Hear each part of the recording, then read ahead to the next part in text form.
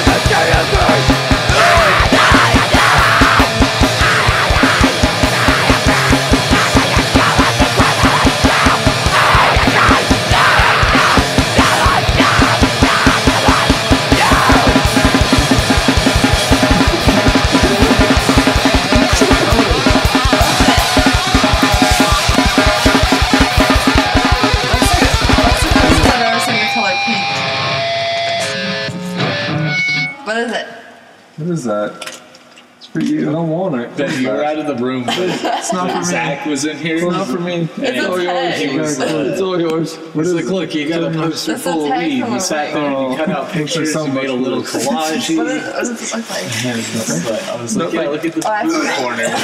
And he's like, I forgot this is I might have awesome. oh my god, is that Osama? He just starts busting up laughing. Out of Like, why the fuck do you have Osama on there? And I told him that it was to make people laugh. Medical him laugh purposes. Way harder. Medical Osama. Medical Osama.